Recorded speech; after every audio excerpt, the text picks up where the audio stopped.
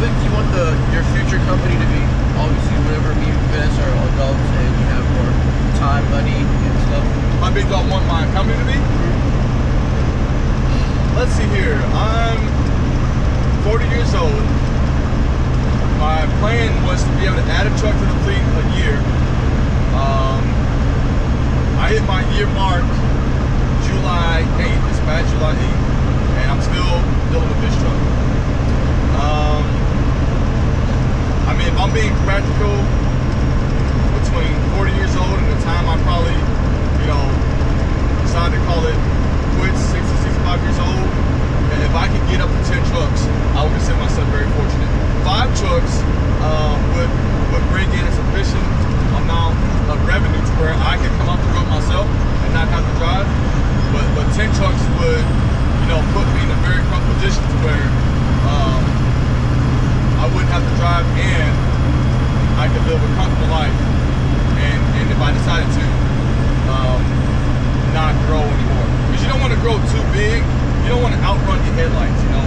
Um, I mean, some people do and it's fine, but I, I feel like if you build slow, slowly, and you do it with as little as debt as possible, then you have a better chance of making it last forever or longer. Does that make sense? Yes, sir. Um, so that's kind of the way I look at it. So that's so that's the plan. You know, we'll see what happens. Like I said, if I get to at least five, I consider myself very fortunate. But uh, at ten, then I, I know that I've made it. You know, and once you get to ten, which at that point the trucks pay for themselves. You got ten trucks, you can almost at that point afford to buy a new truck a year with the ten trucks that are bringing in revenue. In theory. Very sp- yes, sir. And final question: Do you have any advice for truckers getting into the business? Well, have any advice for truck to get into the business? I would say, um, I would say four things. Learn how to manage your business. Well, okay, you talk about people getting into the trucking business like just starting off or actually owning their own truck. Um, whichever is you're more experienced in. I would say this: if you're gonna come into the trucking business, come in, go work for a company, go somewhere where you can learn how to drive a manual. Now, I got it. Uh, manuals are kind of going out, but you still want to have that option. Go somewhere where you can learn how to drive a manual, get at least a year of experience, uh, or go somewhere where you can learn to drive a manual, and then go to a company where you get a year of experience, and then at that point, maybe go to a bigger company or a better company or a company that pays more, whatever. Uh, save up enough money buy your own truck if that's what you so choose. Save up at least, I would say at least $25,000. If you can save up $50,000, that's even better.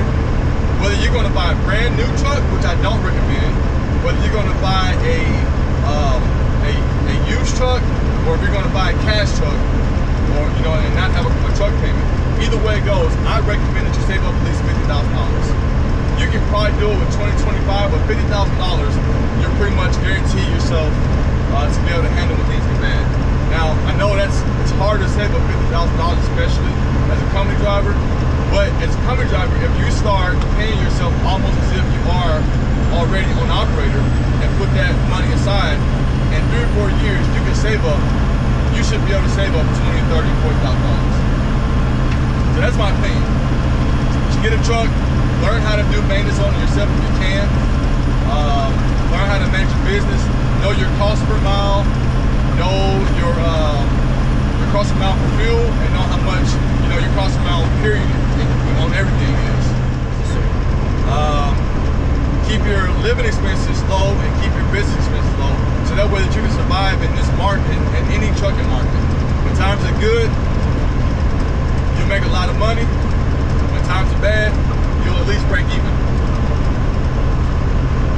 And um, make up your bed every day. That shows discipline, it shows commitment, and it shows that you know how to be organized. That's pretty much it. Sir, well, thank you for uh, letting me interview you here on the road. I know you're very busy and have to pay attention to the road, so thanks for uh, taking the time and let me get a few questions out. And, uh, Oh, thank you very much, Sam. If you guys enjoyed this video, go ahead and hit that like button. Uh, consider subscribing. Like I always say, it's not about how much you make, it's about how much you keep.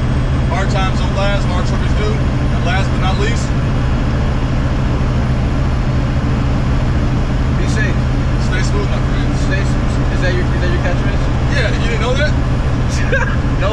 Oh my gosh. Stay smooth, my friends.